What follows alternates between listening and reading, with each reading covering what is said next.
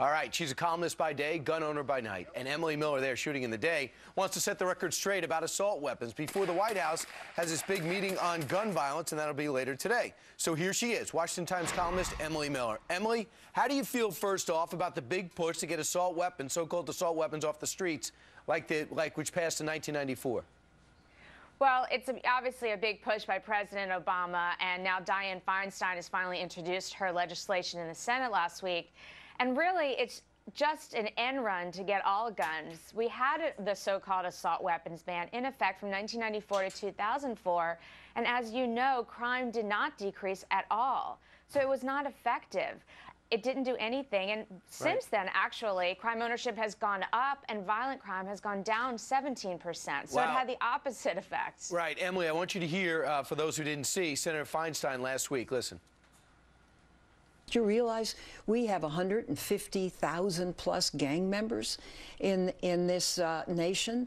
When they go up against the police, it's generally an AK 47. Uh, do you realize that police have had to break into gun stores uh, to get weapons that would be stronger than the adversary they had? Uh, do you realize that one out of every five law enforcement officers that's killed is killed with an assault weapons?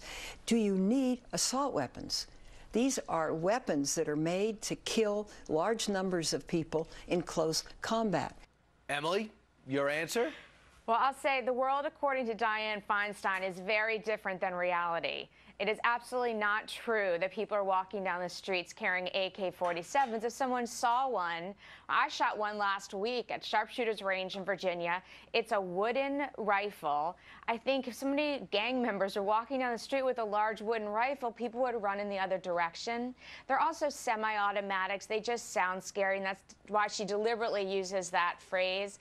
But and, and, it's absolutely not true whatsoever that most one fifth of law enforcement are killed by these so called assault weapons. Dianne, so Dianne Feinstein said herself last week that her by her numbers which are always exaggerated there are 38 people killed a year with these so-called assault weapons which by the way are semi-automatic rifles with certain cosmetic appearances so right. 38 a year it's really not a massive public health scare. Right. The other thing is, I thought it was very significant. She says gang members are using these. So now, if they're illegal, I'm sure the gang members will give them up because they do not want to break the law. uh, number two, I thought it was fascinating to see the police, the chief of uh, police here in New York City, say, yeah, if you want to take assault weapons, that's one thing, but our problem is handguns.